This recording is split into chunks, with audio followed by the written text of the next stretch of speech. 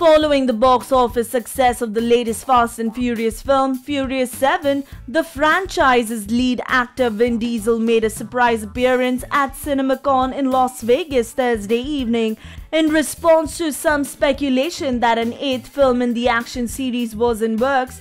Diesel confirmed Furious 8 is officially happening. You have been so loyal all along. All of you made Furious 7 something of history. Diesel told the audiences of exhibitors at the event before making the announcement. We are making Furious 8, he said as the audience cheered.